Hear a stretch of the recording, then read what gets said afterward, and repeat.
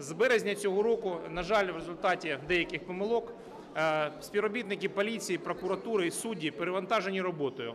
Е, Якщо пройшло якийсь злочин, наприклад, вбивство, слідчий повинен, е, відібравши відбитки пальців або гільзи з місця злочину, писати документи до прокурора, прокурор звертатися до суду, і ми отримуємо експертизи, які вкрай важливі у разі тяжких злочинів не через один-два дні, а через тиждень. Злочинці за цей час встигають е, виїхати із країни або створюють нові злочини.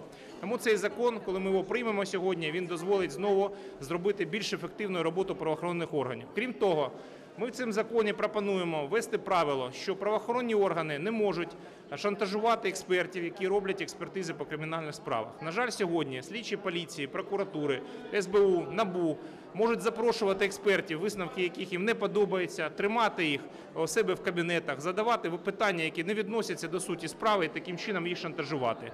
Якщо цей закон буде прийнятий, то е, експерт буде давати покази по експертизам, які він зробив, виключно у суді. Це важливо для балансу влади, захисту прав людини і верховенства права в нашій країні.